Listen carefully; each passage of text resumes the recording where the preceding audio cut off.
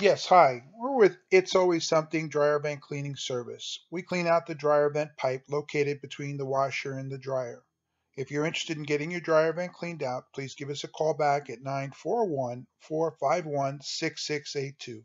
For your convenience, we're open between the hours of 8:30 a.m. and 8:30 p.m. Monday through Saturday. It's important to get your dryer vent cleaned out regularly. Cleaning out your dryer vent has the following benefits reduces the amount of time it takes to dry your clothes, lowers your electric bill, and prevents fires. We also do gutter cleaning, gutter repair, gutter installations.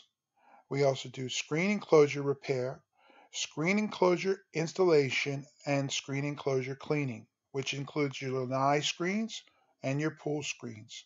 Call us at your earliest convenience to set up an appointment that works best for you.